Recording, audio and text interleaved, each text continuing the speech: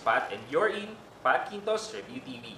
So if you're new here in my channel and you want to know more about Smart Padala and Paymaya, I have links there. Kindly check it out.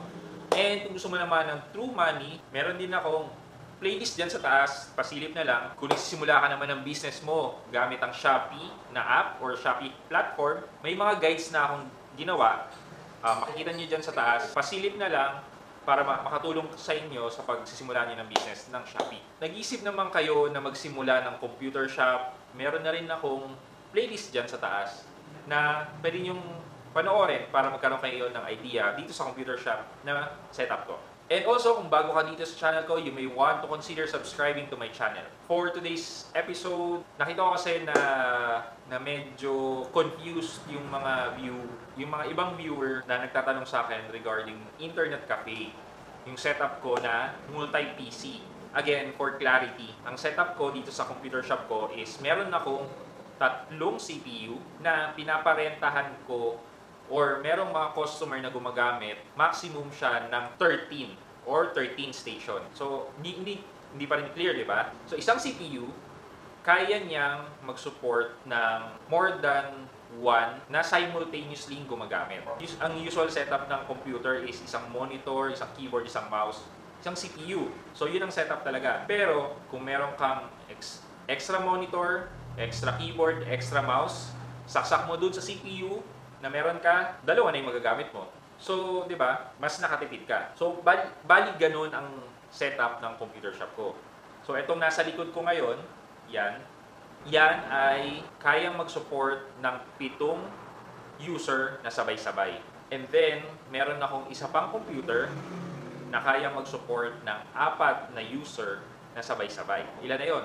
11. And then, meron pa akong additional na isa pang computer na pinapagamit na nagsusupport ng dalawang user. Ang dami kong question na natanggap or private message.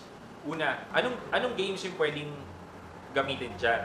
So, um, sabi ko, yung location ko ngayon is katabi ako ng school. Hindi talaga kami naglalagay ng games. Um, kasi bawal. Kailangan 100 meters away ka bago ka makapaglagay ng computer shop or gaming shop.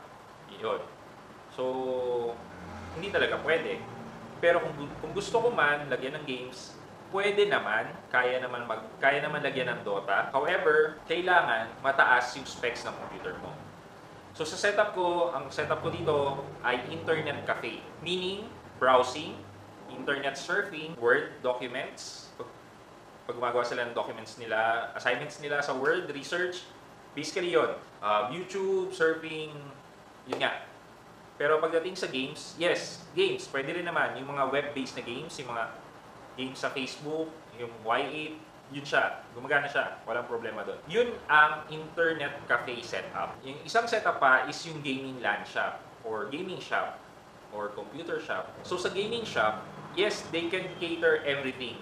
Internet cafe, games, most especially. Sa gaming, doon kadalasan wala silang printer. Meron man silang printer, pero ang cost ng printing nila ay sobrang taas compared sa mga internet cafe i-specialize sa ganyan, sa assignments or printing. Yun naman ang pinagkaiba nila. Another question na natanggap ko, ano yung specs ng computer mo at napagana mo yung 7-in-1?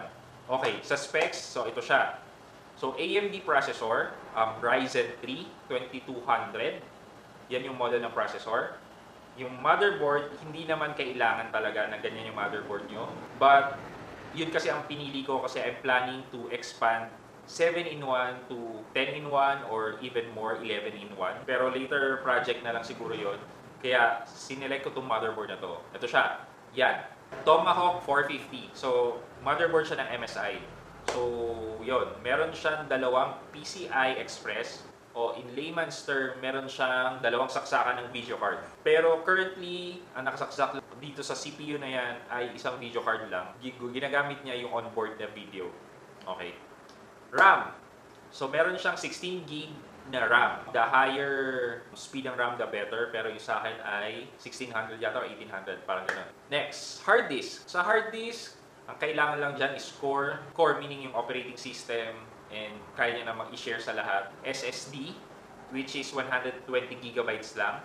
So, I recommend using um, SSD, lalo na sa operating system kasi mas mabilis siyang mag-boot or mabilis siyang mag-process. Kayo, nasa sa inyo rin yun kung gusto nyo pataasan pero primary 1, uh, 120 gig na SSD siya. Power supply, so true rated power supply na 600 watts. In terms of video card, ang video card na nilagay ko dyan ay RX 570 AMD video card. Second hand lang siya, pero pag binili mo siyang bago, worth 10,000, 11,000. So, nabili ko siya na second hand, 5,000.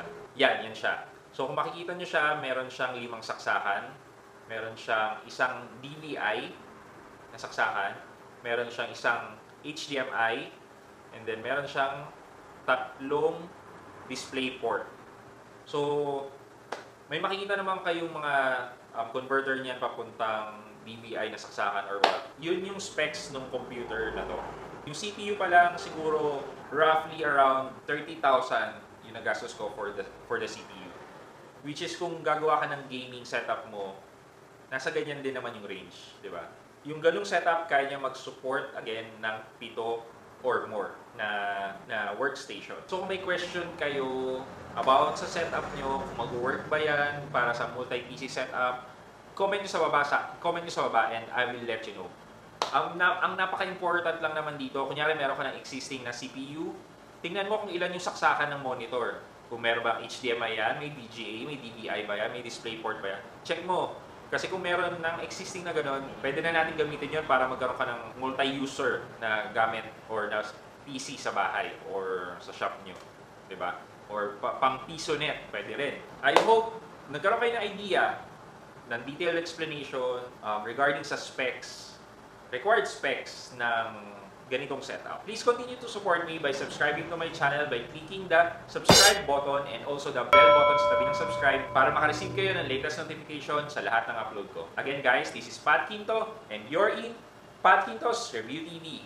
Bye-bye!